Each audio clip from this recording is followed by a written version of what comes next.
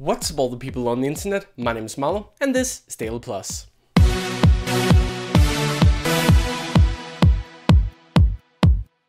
Hello, hello everyone, once again, and welcome back to Daily Plus, your favorite show about everything Eurovision. There is only about a month now until it's the big Eurovision week. Can you believe it? This week we don't have a lot of news, but we do have a fun fact, and of course a song of the week. So let's get started. We are unfortunately starting with a little bit of sad news. Last week, Roger Cicero, who represented Germany at the 2007 Eurovision Song Contest, sadly passed away at age 45. Roger was a famous German jazz singer, known and loved all over the country, but he sadly passed away due to a stroke. Here at ESC Plus, we are sending our thoughts to the friends and family of Cicero, and let's take a listen to a little bit of his 2007 entry to remember the kind man and the wonderful musician.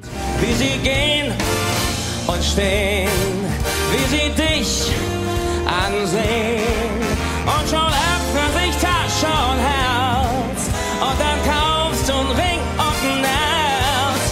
isn't much more to say on this topic, but I just want to say, Roger Cicero, thank you for the music. With the month of April being a reality, we are starting to see a lot of the Eurovision pre-parties. The Eurovision pre-parties are taking place all over Europe, and this is a chance for many of the artists to show off their song, meet all the other contestants, meet all the fans, and promote their song even more. We already have two pre-parties this weekend. First we had the pre-party in Riga, and yesterday we had the pre-party in Moscow. Now we have a couple pre-parties left, so let's take a look at those. On the 9th of April, we have the biggest of this year's pre-parties. Eurovision's concert is taking place in Amsterdam, and a record number 27 of the participating artists for this year's Eurovision will be at the party. This is definitely one of the biggest Eurovision parties, and it's been held over the last couple years. However, we also have a brand new party this year, and that's on the 12th of April. The Israeli town Tel Aviv is inviting us all to Israel for the pre-party Israel Calling. This is the first time that Israel will be holding a Eurovision pre-party, and currently there are 14 acts confirmed for this pre-party.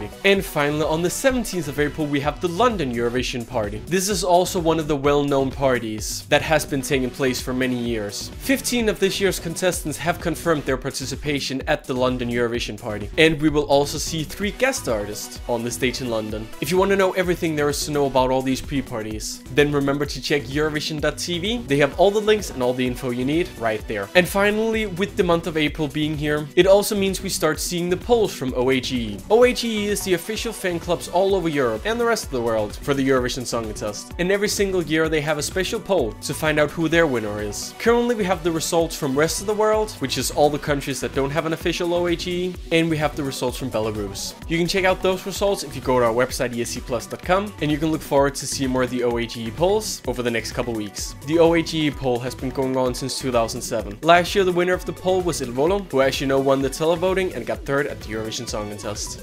That was the news, now for a fun fact. Did you know that you don't actually have to be from the country you're singing from at the Eurovision? In the rules of the Eurovision Song it says nowhere does it state you have to be from the country that you're representing. That is why someone like Serhat from Turkey can represent San Marino. And if I wanted to represent Russia, nowhere in the rules does it say that I couldn't do that. However, a lot of countries do have their own rules in their national selections, stating that either the singer, the songwriter, or both have to be from the country. But in the official rules, they don't say anything about it. Now let's go listen to the song of the week. The song of the week this week comes from my country, Denmark. We're going back to 1989 and to a true Eurovision classic. It's time to listen to Birte Kjær and Vi maler byen rød.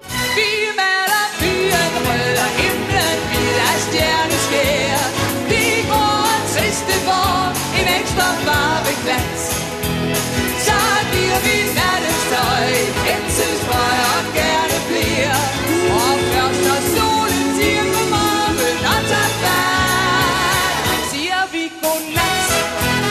Byen came third in the Eurovision Song Contest in 1989, and it is definitely a fan favorite. Not only is it a favorite among Eurovision fans, but it's also still a big hit in Denmark. Pretty much everyone knows the song. And if you live in Denmark and you don't, just ask your parents. I am sure they know it.